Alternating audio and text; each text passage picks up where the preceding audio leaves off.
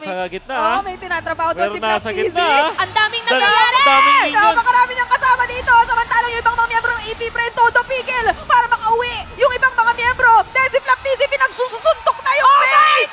Nakakaabot naman sina Kendra at sina Eto Max, kaya naman makakatakbo sila papalayo. Pero tingnan mo naman, may na-isolate. Si Ryota na iwan dito. Pero yung Oh my shield na makukuha sa heart guard, hindi Buhay. na biro. Kaso Ay, si we Mew, need to try hindi tinigap. Yung decimate, naiwasan niya. Naku naman, tingnan natin. Aalis na lang muna natin mga Si players. Flap Sabi na ulit. Medyo delikado. Hindi na naman nababago. Si Hindi na si. Flap si pwede makakita ng left jab. Yeah, Ayun, na- naka, nakaabang na naman. Ay, walang immortality dito si Ryota if ever at medyo malayo mga players ng Omega. ay. Ibig na ba? Arya, may sipa na nga. Siya na nga yung kinumit pero may knock-up din na nagbubula sa Lord. Aray! Torn apart memory hindi aabot para siya ipatumbayin. At si Kelra, sinaniba na nga rin ni Jack Nu. Kaya naman medyo nag-aalangan na yung AP brand kahit papaano na ilaban. Kasi kanina pa nangyayari yung si Kendra biglang umiikot-ikot lang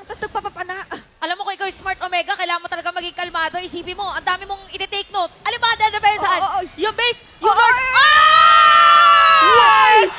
Eto Max!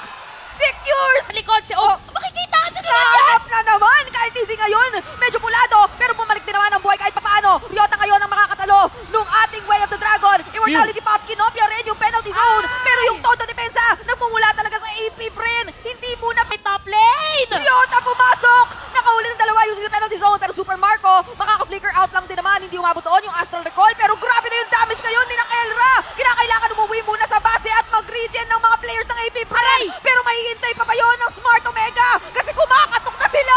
May decimate pang natitira! Meron pang Winter Truncheon Play na nagmumula kay Andorio pero sabi ng AP pa wala muna! Oh my God. Hindi muna pe pwede!